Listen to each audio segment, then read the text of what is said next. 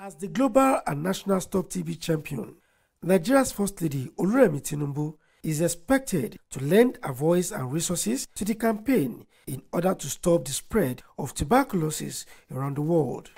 She is here on that duty as the Stop TB Partnership rallies stakeholders in New York in a renewed bid to break the resistance of the scourge.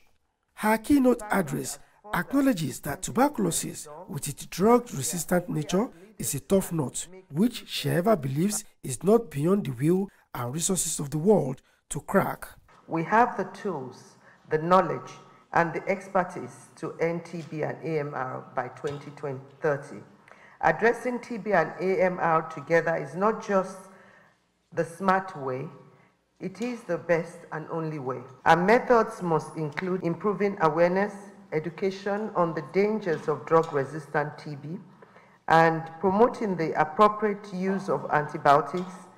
We must also prioritize research in order to develop new tools, treatments, and new vaccines that can outpace the evolving threat um, of AMR.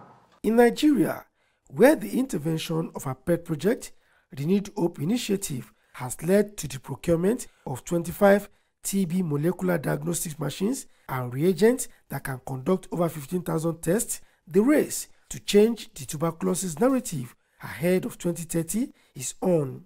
I'm also informed that this support has motivated the manufacturers and global distributor, together with their partners in Nigeria, to donate an additional 50 TB lamps to aid the country in the fight against tuberculosis.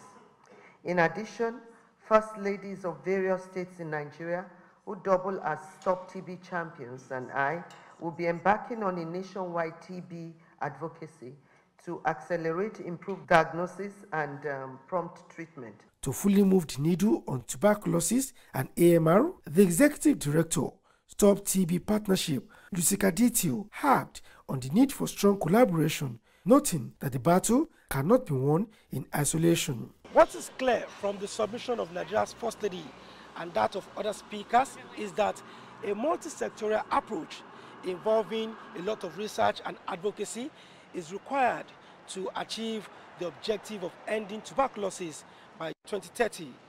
And indeed, that is what Nigerians and the rest of the world are expecting in order to achieve a future where tuberculosis is no longer a threat.